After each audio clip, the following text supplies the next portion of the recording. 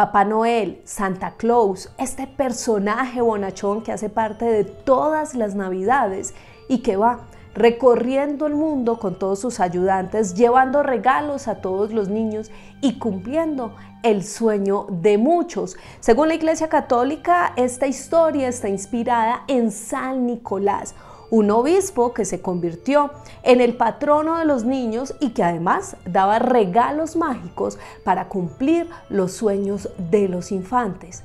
Sin embargo, hay muchas leyendas e historias que nos hablan de personajes que le hacen contrapeso, personajes terroríficos que hacen parte de la Navidad.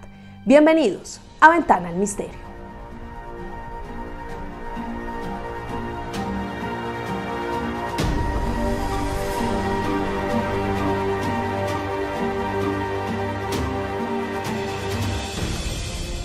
Abro esta ventana del misterio para contarles la historia del Señor del invierno y la helada, una leyenda presente en las antiguas tribus eslavas y nórdicas, donde según cada región este personaje tenía un nombre diferente, Trinskun, Karashun, Signi y Moros.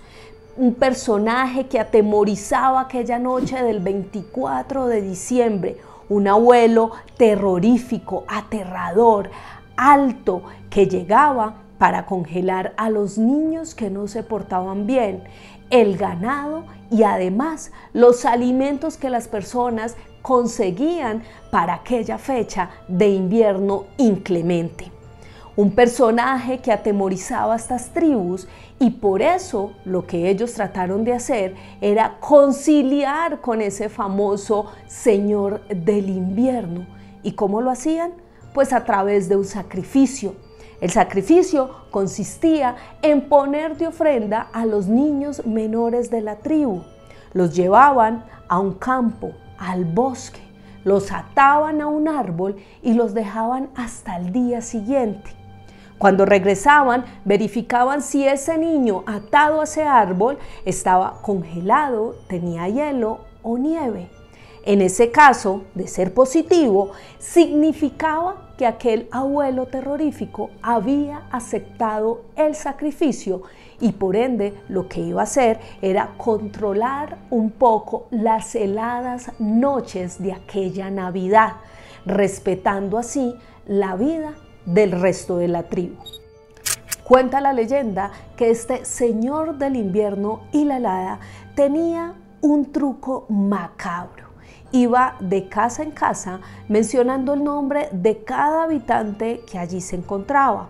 En caso de que alguien contestara, esa persona podía morir de inmediato congelado por aquel abuelo macabro un juego del que nadie quería salir perdedor.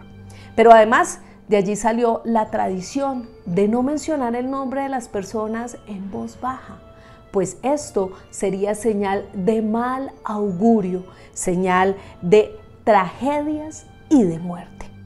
También se habla de que este hombre terrorífico llevaba a su hombro una bolsa una bolsa gigante que no estaba llena de regalos, no, estaba llena de las cabezas de aquellos niños que le habían entregado como sacrificio.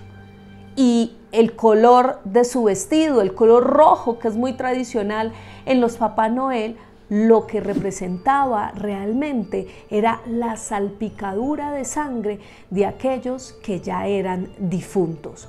Una historia, una leyenda terrorífica que plasmó y quedó marcada precisamente en esas tribus eslavas y nórdicas. Tribus que sin duda eran guerreras, que estaban enseñadas a estas historias terroríficas. Nosotros no estamos enseñados a eso. Para nosotros la Navidad es alegría, es paz, es amor.